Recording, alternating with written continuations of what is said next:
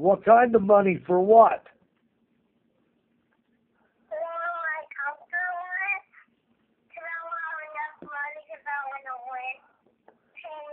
For what?